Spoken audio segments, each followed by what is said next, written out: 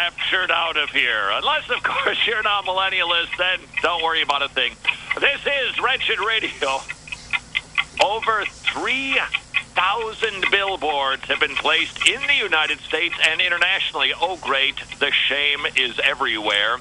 Claiming that May 21st, Saturday, at about 6 p.m., give or take, those people who basically are in Harold Camping's organization they will go flying in the sky to the by and by, but those of us who are in a church will not. Taking a more in depth look at the man known as Harold Camping, how does a fellow who started out Reformed and Orthodox go on to be a man who is predicting now for the second time the end of the world, mangling scripture?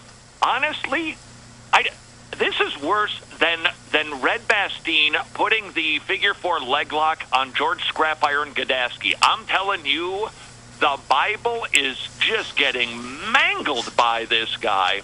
Joining us to help us understand this fellow, and quite honestly, I think I think there are some lessons that we can learn from Harold Camping. That's right, there are some things that we can learn from people who make false prophecies.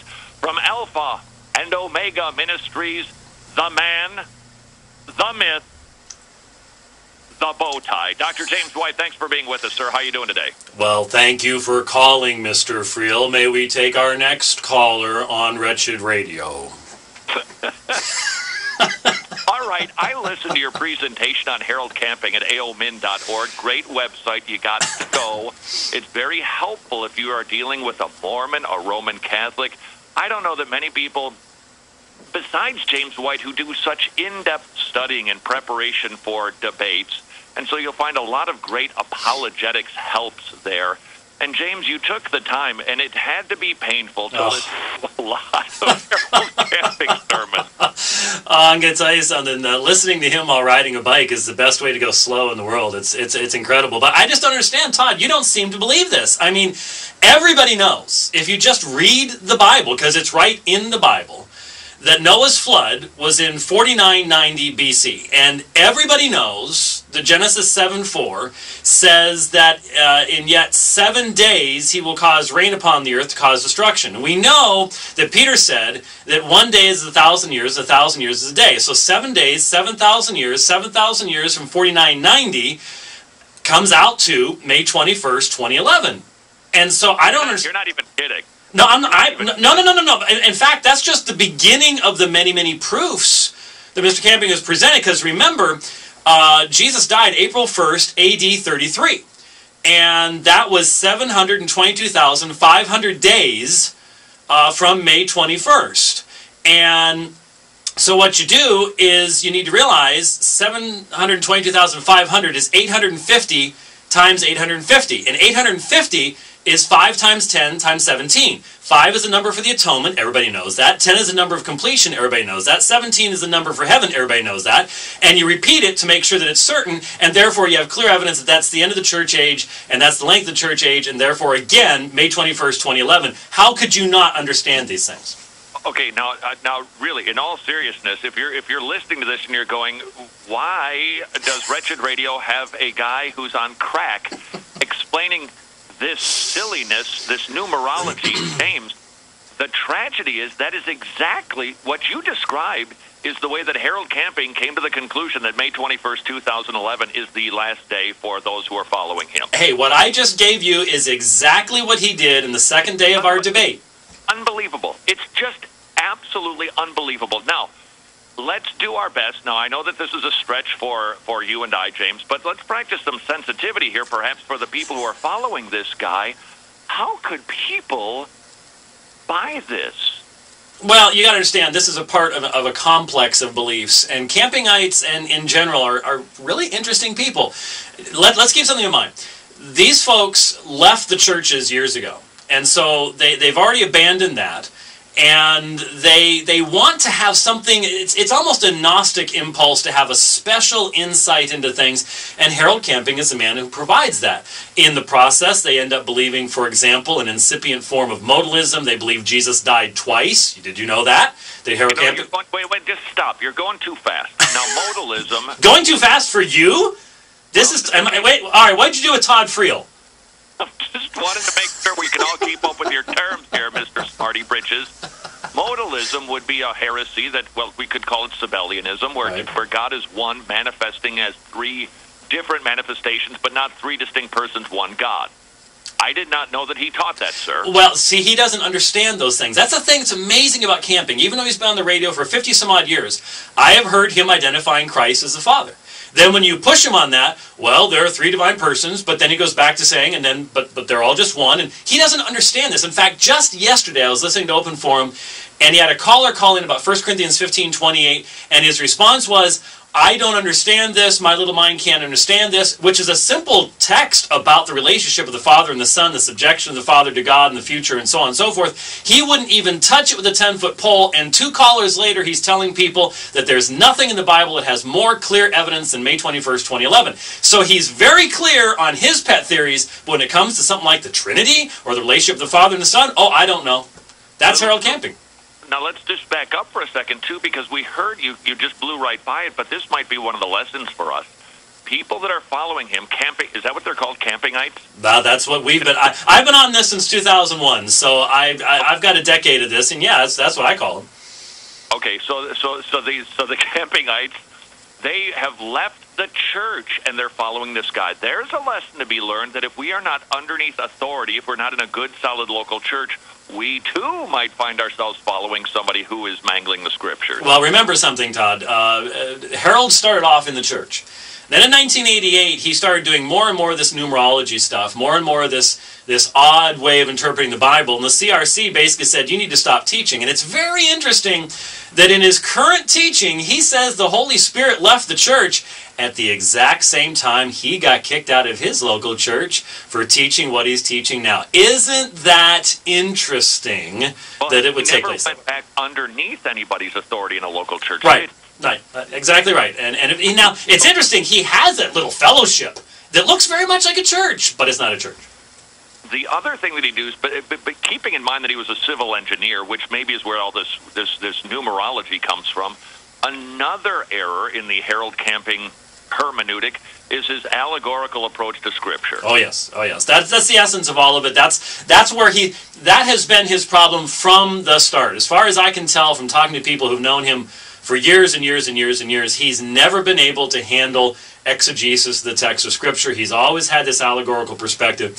And in our debate, he specifically attacked the concept of historical grammatical interpretation. Jesus always spoke in parables. Everything is a parable, according to Harold Camping. Wow. Okay, so give it. Now this is this is difficult because if you listen to Harold Camping, the you think James, you think I go down rabbit trails? Well, you are the, Oh, an apology, Mister. you, you are the, the awesome example of the A- ADHD uh, preacher because uh, as soon as an illustration strikes your mind, away he goes, you know, and you sort of wonder, has he ever come back? ar- At least we try to come back to the original point. Harold Camping, it's like he, he loves to go a wandering, and he puts on his little his little boots, and away he goes, and he never comes back. Or, as you rightly stated in your presentation at aomin.org, he'll make a point, go wandering away before substantiating the point, and then return to the point by saying, and as we've seen, Yes.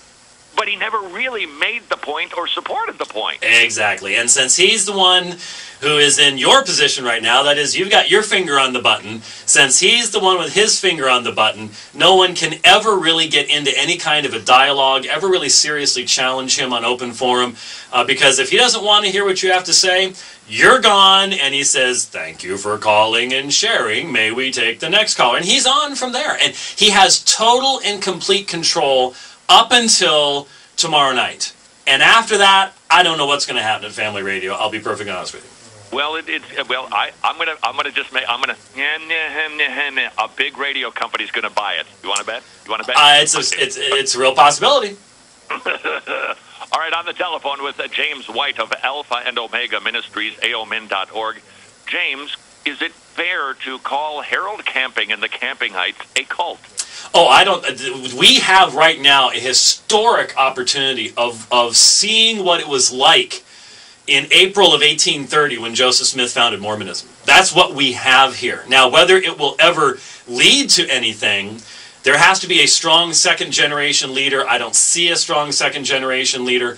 But remember, Harold Camping already went through this once in 1994. Yeah, he had a question mark at the end, but he already went through this once. There were people uh, renting biplanes to fly over Jones Beach on Long Island with flyers warning people about September of 1994. He's already been through this once. Now, he's 89 years old. I think this is the last hurrah. But there is an incipient movement here. And remember, Edward Miller, 1844, uh, he had the same thing going on. People waiting on mountainsides, this coming of Christ, and that ended up leading to two major groups that we still deal with today the Seventh day Adventists and the Jehovah's Witnesses. So I don't know what the future is going to hold here. I, I don't know what's coming down the road, but yes, you better believe what we're dealing with here is exactly the same kind of thing you're dealing with with Charles Taze Russell, Joseph Smith, Mary Baker Eddy, Ellen G. It, it doesn't matter. Uh, this is what you have with with uh, Harold Camping, no question about it. Do you okay? So cult, because sometimes cult, we can. There's different markers for what Oh, yeah, sure. cult. Theologically, what would make Harold Camping and the Campingites? I think that was, by the way, I think that might have been a group in the 50s. What makes them a cult theologically? Fundamentally, it is the ultimate authority of Harold Camping as the interpreter of Scripture. Now, he always says, I only go by the Bible. Uh, well, but of course, he determines what the rules of interpretation for the Bible are. Are He, aren't the Orthodox though in the essentials? No, they're not. Because, for example, just let's talk about the gospel. You mentioned it in your opening comments, and you're exactly right about this. You and I may confess faith in Jesus Christ. We may we may reject all forms of work salvation and everything else, but we ain't going any place tomorrow for one simple reason: we don't accept May twenty first, twenty eleven. Now, you tell me what adding an acceptance of a particular date for the rapture is to the gospel itself. We're going to hell because we reject an unbiblical conclusion by Harold Camping.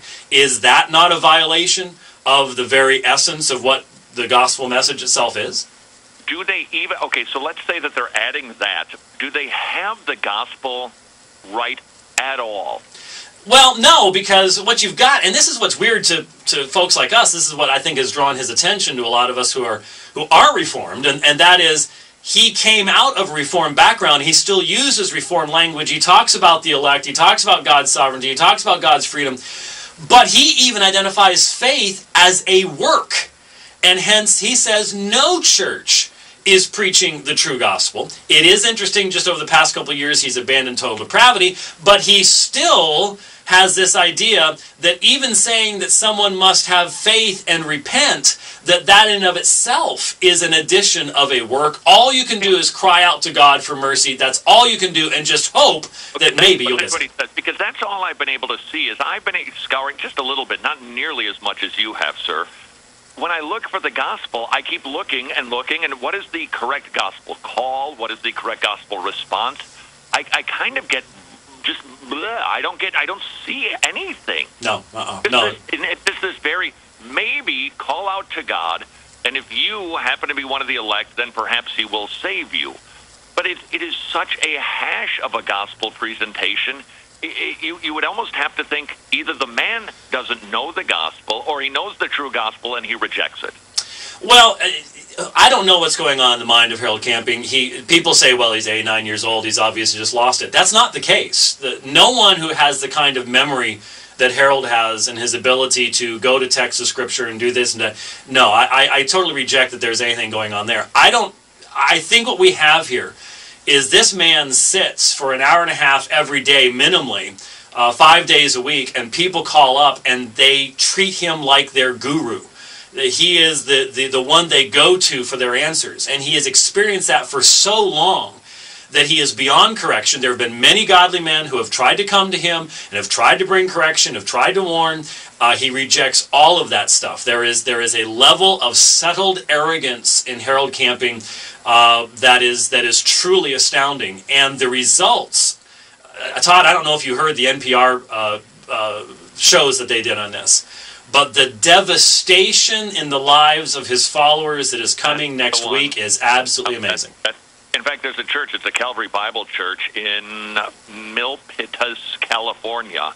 They're actually doing an outreach to the followers of Harold Camping because they're concerned that people who have perhaps sold their things, given them away in preparation for Saturday, might be suicidal. Yeah, yeah. So this, Well, you know, well, well, let's go after Harold Camping and his teachings. We got some people here who could be in big danger for a lot of reasons. All right, James, as always, you demand, aomin.org, aomin.org. Thank you, sir. Bow tie on. Hey, thanks, man. God bless. See ya. James White, who knows whereof he speaks. Let me tell you something. If anybody's done research on Harold, it has been James White. Harold, disaster. Now the people we got to be worried about his followers. This is Wretched Radio.